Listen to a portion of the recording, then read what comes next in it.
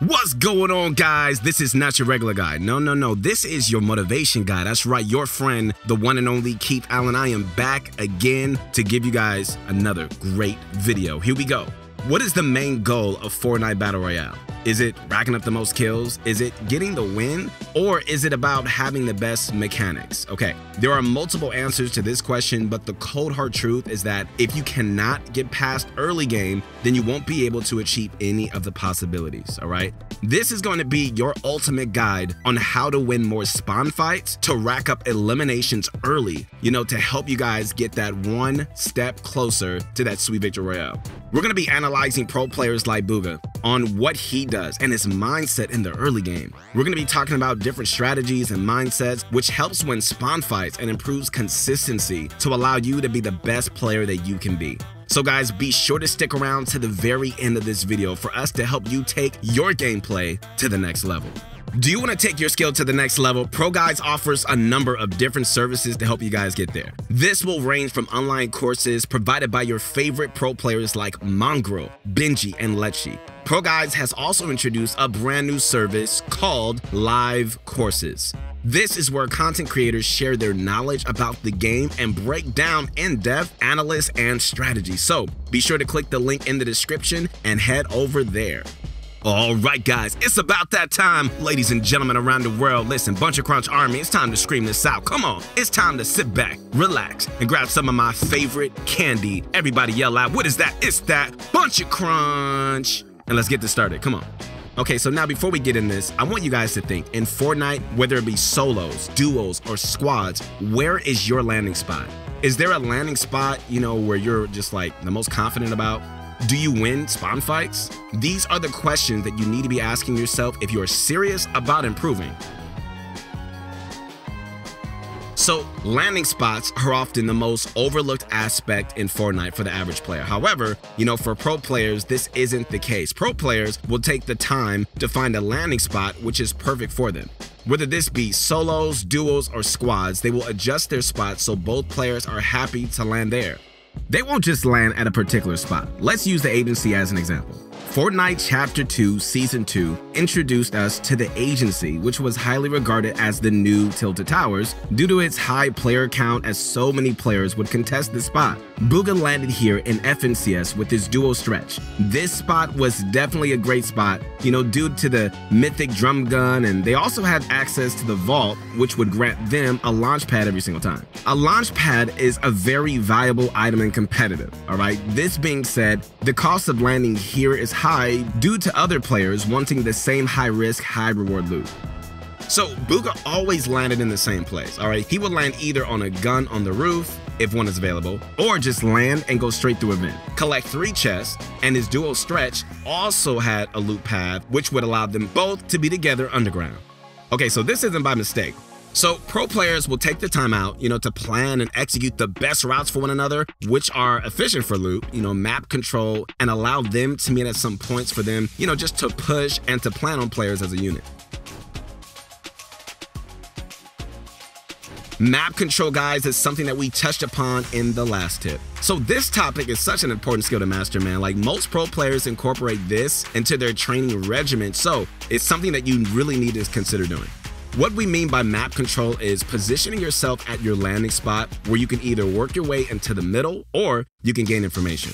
You know, as an example of this would be Lazy Lake. Okay, so once again, another popular landing spot, right? So if we look at Lazy Lake, it has good foundations, a center building which is quite high up. This would be, you know, a good building to gather information on other players and have good map control to plan out where the threats are around you, right? Like who you should look to pressure and, and where is a safe route in case you need to loot more because of bad RNG. An example of working your way through the area could be, you know, landing on the outskirts of the drop spots, right? The reason pros do this is because they know it's unlikely anyone's going to be behind them. This means the threat is going to be in one direction. This allows pro players to control this area by pushing their way deeper into the drop spot and also covers areas they have passed through.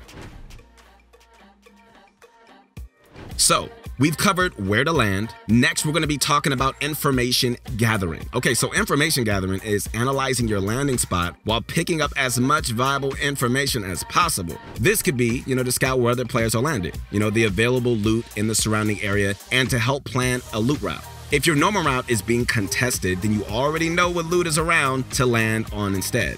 Information, you know, gathering doesn't just stop, you know, once you've landed. In fact, it could be considered more important.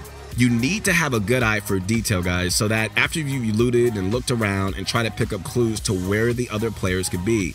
Clues could be broken buildings, right? Like floor loot that is, you know, now gone and chests that have been opened. All this is valuable information, you know, which is going to help you guys eliminate your opponents. So another step into becoming a pro at spawn fights is prioritizing. Oof.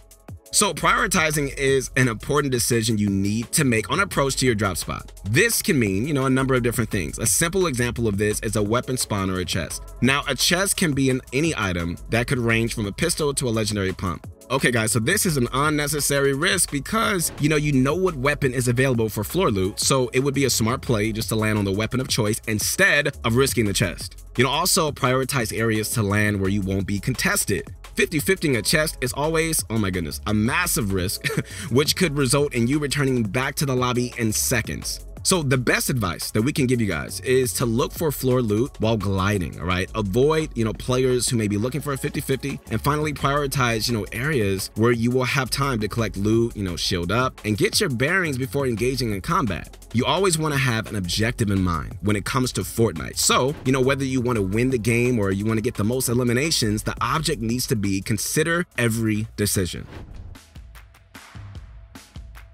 Okay, so with that being said, the final tip, guys, can be as controversial. So if the aim of your game is to win, all right, then every decision you need to make has to be based on this. As you can see in this clip, Liquid Stretch is playing in FNCS solos. He has landed Slurpy Swamp, and off the start, he gets a legendary scar, he gets an epic pump, green submachine gun, six minis, and three big shields. I mean, come on, bro. Like, the luck that Stretch is having in this game is like unbelievable. the important thing is, though, like, Stretch understands how lucky he is to be getting this loot early on. Now, watching this clip, Stretch looks to engage someone who has contested Slurpy, gets a few tags on a player, and then disengages. Now, this is where the controversy comes in. The reason he disengages is because this is a tournament and Stretch wants to win it. so he doesn't just take the risk due to the fact that, you know, he has good loot. So you guys may be asking yourself, why are you telling us Keith Allen to disengage fights and a guide, you know, about winning spawn fights? Well, the reason why I'm telling you this is because, as we said earlier in the video, whatever your aim is, you need to keep that in the back of your head with every decision you make. Stretch clearly didn't feel the need to take the risk and potentially end his game. Okay, everybody, so this is everything that you need to know about spawn fighting in Fortnite, but before the video ends, we got to do a quick recap, okay, of everything we discussed. So be sure to stick to the very end, though, because we're to be sharing something really cool with all of you. Here we go. First we have is, you know, landing spots. Like regardless of solos, duos, squads, you need to know your drop spots like the back of your hand to have an advantage over other players contesting the area. So if you're in a team, you both need to work out, you know, a loot route, which is going to allow you to loot and meet up at some point to work as a team. Okay guys, map control is second. Keep in mind when landing how you're going to control the area. Thirdly, information gathering. Okay, on approach to your landing spot, keep an eye out for anything of value. You know, this could be loot spawns, you know, where you have players that are landing and alternative routes in case your normal fight is contested. Okay, fourth up, we've got prioritizing. So, if possible, land on floor loot to avoid the risk of RNG from a chest. Avoid contested areas, never 50-50 a chest, and finally prioritize getting the loot and shield you need before engaging. All right, the final tip keeping the goal in mind, man. Like, we want you to stay focused with the goal in mind. If you don't need to fight because, you know, the goal is to win, disengage. Decision making, man, in Fortnite will be the ultimate decider in how your game is played. So make sure you are basing every decision around your goal and never forget it. All right, guys. Once again, this is your motivation guy. That's right. Your friend, the one and only Keith Allen. Hope you guys are inspired, man. Take these notes, apply it to your game, and I promise you will see yourself improve at the game you love, all right? Thank you guys so much for taking the time out today to watch, and we hope you learned something that is going to help you take your Fortnite abilities to the next level. Real quick, we have created a link in the description, which is our brand new Pro Guides community Discord, all right? Feel free to join the chat with community members. You know, you can find new teammates and so much more. Also, if you enjoyed this video, please leave a like. And if you want to see more videos from us, please hit that subscribe button and turn on those notifications. Finally, let us know, you know, what you thought about the video and any ideas you may have for the future. All right, guys, we'll see you soon. Peace out.